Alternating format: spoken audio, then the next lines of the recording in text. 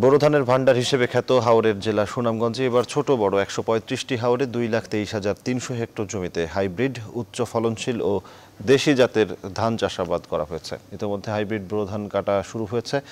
বৃহস্পতিবার দুপুরে ভিডিও কনফারেন্সের মাধ্যমে এই ধান কর্তন কর্মসূচির উদ্বোধন করেন কৃষিমন্ত্রী ডক্টর আব্দুর রাজ্জাক।